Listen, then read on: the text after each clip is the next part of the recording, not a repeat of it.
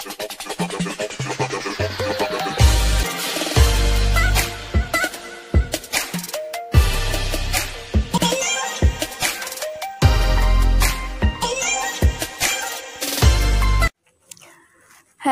friends so friends welcome to my channel Krishna की यार्ड की दुनिया तो फ्रेंड्स जैसा कि आप सब लोग जानते ही है कि नवरात्रि आ रहे हैं और नवरात्र में हम दुर्गा माता के नौ रूपों की पूजा करते हैं नौ दिन तक।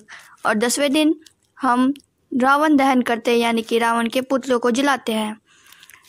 तो फ्रेंड्स इस शुभ फेस्टिवल पे ब्यूटीफुल फेस्टिवल पे मैं आपको एक ड्राइंग आइडिया देने वाला हूँ, दुर्गा माता का। तो बिना टाइम वेस्ट किए चलिए अपना वीडियो स्टार्ट करते हैं।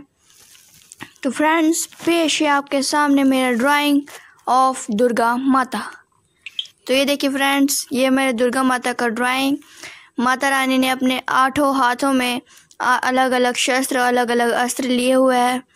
त्रिशूल, शंख, धनुष बाण, कमल और सुदर्शन चक्र, तलवार, गदा और ओम भी लिखा हुआ है अपने हाथों में, जिससे सबको आशीर्वाद देते हैं।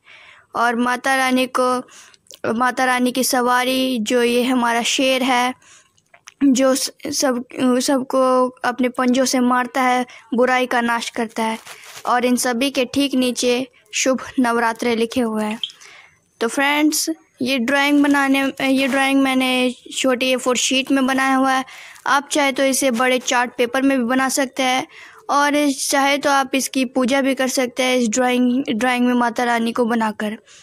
और फ्रेंड्स मैं आपको बता दूँ कि ये मैंने ड्राइंग बनाया है तीन दिन तीन दिन तक ये मेरे को टाइम लगा इस ड्राइंग को बनाने में। तो आपको जल्दबाजी नहीं करनी है। आपको जितना टाइम लगे, उतना टाइम लेकर आपको बनाना है ताकि ये ज़्यादा सुंदर लगे। तो फ्रेंड्स ये मैंने बड़ी मेहनत से ड्राइंग बनाया है दुर्गा माता की तो एक लाइक ज़रूर कर देना।